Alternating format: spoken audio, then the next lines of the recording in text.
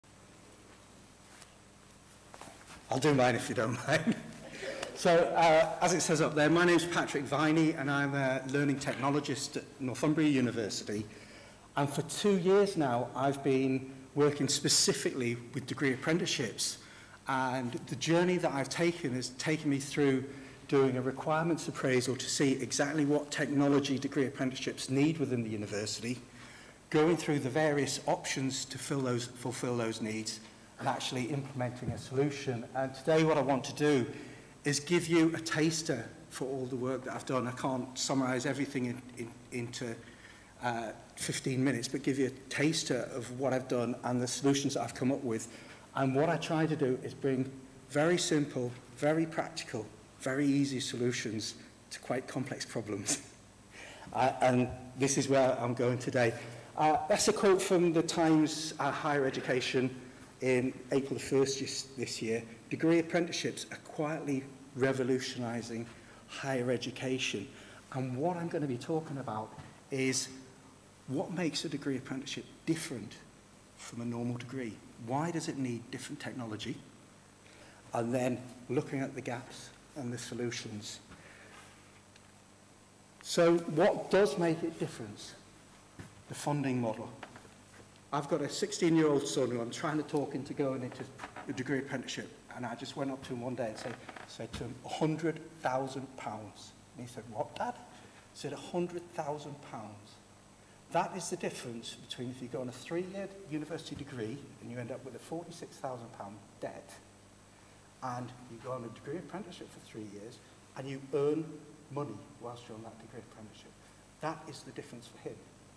So where's this money come from? comes from a thing called the apprenticeship levy. Every business in this country which has over three million pounds worth of uh, wages bill has to pay 0.5% of their wages into an apprenticeship levy. That apprenticeship levy they can use then to train apprentices within their organisation. The rest goes into a pot and smaller and medium-sized businesses can use it. So there's a lot of funding from the government going into these apprenticeships and now they can be at degree level. And this is why it's changing the face of universities because we're finding some part-time courses, say a part-time course in management where the company would have paid in previously, they'll be putting apprentices in. So we are seeing this gradual change of where we're going because of this fu funding model. It's obviously very, very complex, the funding model, but basically the individual benefits by not having to pay the university fees, they're paid paid by the, the organisation. The employers benefit because they get somebody who's gone all the way through university specifically looking at their business. And so, so it's a win-win situation for everybody but the employers who are paying into the apprenticeship levy and not using their apprenticeships. The next big change for the university is we're used to the student-university relationship. The big change is now our partner is the employer and the professional bodies. So we've got these people, other, other people, not only do we sell the courses to the employers, but we have this relationship with them, which means that our, our insular technologies, the likes of our VLEs, the likes of all the technologies we've got, which just go between us and the student, how do we get them that out to the outside world? So we've suddenly got these new uh, stakeholders The relationship between workplace learning and academic learning, a lot of undergraduates are fully full-time students. An apprentice will be working 80% of their time working and 20% at university. How do we create that synergy between what they're doing at work and university to enhance their, lear enhance their learning? Yes, traditional degrees, there are some nursing teaching where that happens, and they're the ones I've used for models for that. And the final one is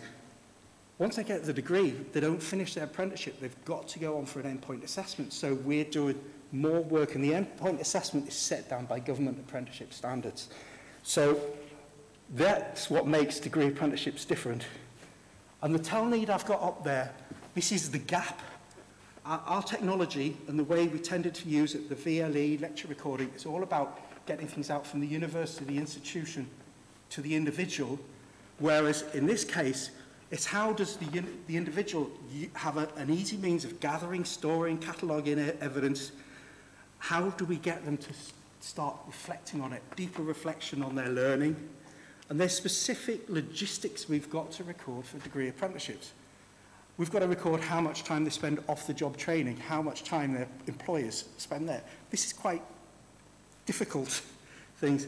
We've got to have records of mentor meetings and workplace visits. There's a thing called a tripartite meeting where you've got to have four every, four every year between uh, a, a member university staff, the apprentice and the mentor in the apprentice's workplace. And what we also need is a means to share information securely with the apprentice, university tutors, and then out into the workplace as well. And our systems tend not to do that. And as I've said, endpoint assessment, we need this portfolio of evidence, and we also need minimal administration because like with everything, we don't have uh, huge budgets for administration. So in Northumbria, we came up with, uh, a CMDA stands for Chartered Manager Degree Apprenticeships. And it was a chartered manager that we came up with this model of how uh, we gather evidence from the workplace and how we use it. And there was three levels of it. The first level, the informal capture of evidence. How do we encourage the apprentice to capture the evidence in its raw state in the workplace, whether it be documents, photographs, videos, and meeting records? And I will be showing you a live example of that today, how we do that. And it's got to be with the mobile phone. It's got to be that simple. Click, done, and you've got it there. The next thing is a more formal way of doing it. This is where we're creating the synergy between the evidence they've collected in the workplace and the learning.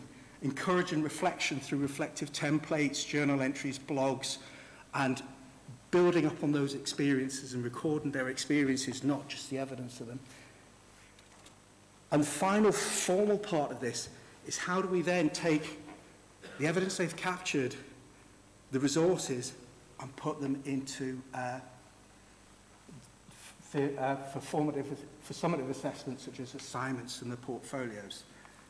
So Moving on from there, what I'm going to do is just take you, take you straight through to a quick demonstration of how I've used uh, an app called PebblePad to do this.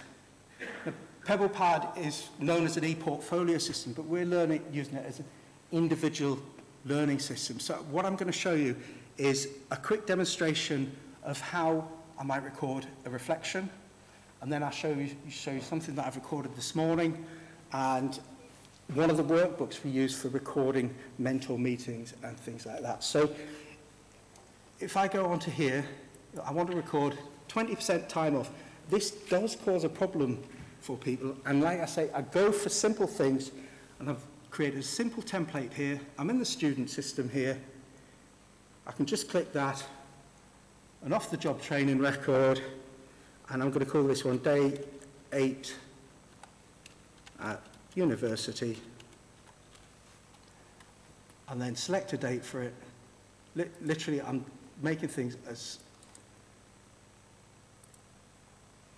as easy as possible. And then just ticking the box what I've done. And all I require the students to do after that is give it a number of hours. And this way,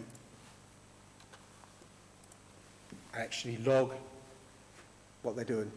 That's all they've got to do to, to record their time off. And at the end of the first year now, we're at the stage where we're getting audits of these records. And these records, what we can do is pull them out of the system. So if I close that now, what I'll do is I'll show you how that's actually pulled into what we call a workbook. So if I go into there,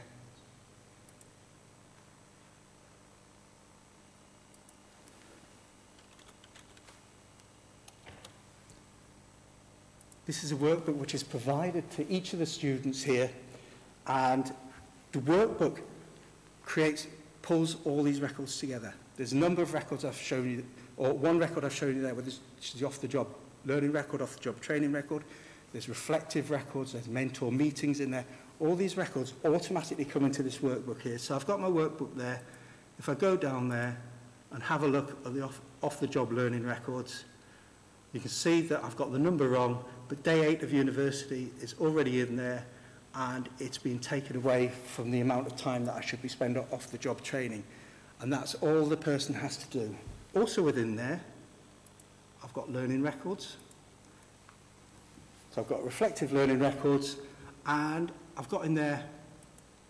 a record of an experience that I've had today. So some of you might recognize the location there. I can take a quick photograph with my phone of any document that I want. I can reflect on it. I can then reflect on the keynote speaker. I can take photographs and do this while it's happening and it's all there ready for assessment. That was a reflection on the first speaker there. And I've even got my presentation as a PowerPoint there. And I just built that this morning as I was watching. And it's as quick as making the notes in any format that you want. Uh, and you've got the presentation uh, they're ready for submission for assessment. And then after that, if I wanted to share that with an employer, it's as simple as clicking a button and say, I want to share with people, and I put my employer's email address in there. And the student can do that. So we've got this very, very simple system uh, there which allows me to share outside the university. And that's one of the crucial factors which we didn't have. So, so really, in summing up, I've taken a whistle-stop tour of a lot of work there, but there is this need for degree apprenticeships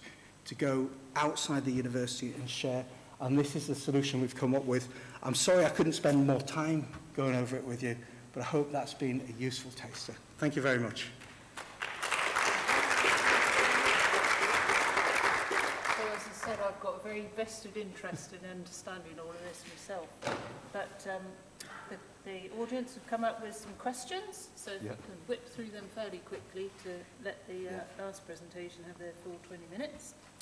So, first of all, a bit contentious, you might give a quick answer to this because it's probably quite a long one, this value.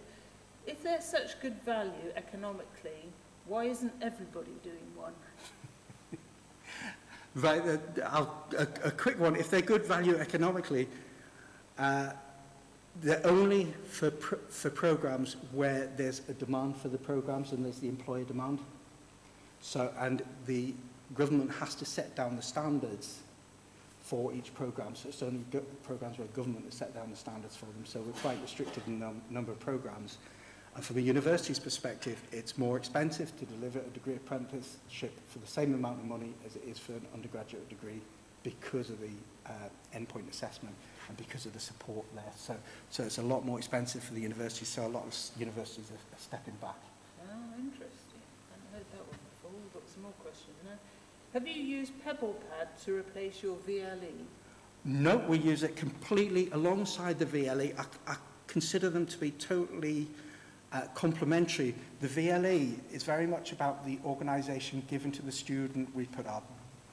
uh, lecture captures on there. We put everything on there.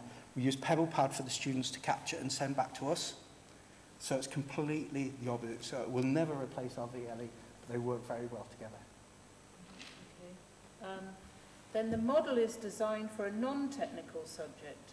How can this model be translated into a programming or network engineering discipline? from an evidential perspective.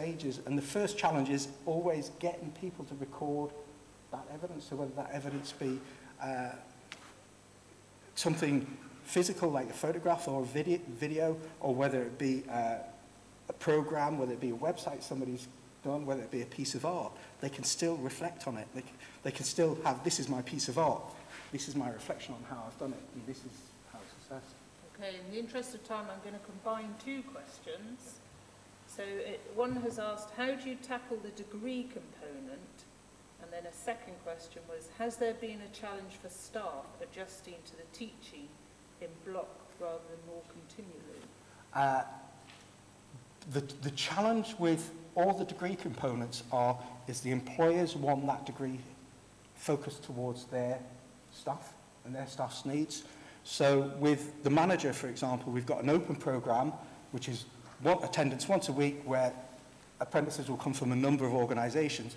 We've also got a closed programme where they come for two weeks every semester. And then we've got another closed programme where they come once a week. So you've got different modes of attendance and you won't have the, the employers wanting specific tailoring of the course to suit their so needs. So it is really employer-driven. It is employer-driven. The, the influence of employers can't be emphasised enough because they've got a choice between one university and another university, and it's money. They'll, they'll, they'll choose the ones that are best. Brilliant. Okay, well, we've got loads more questions, but unfortunately we've run out of time. So I'm sure that Patrick will be available in the um,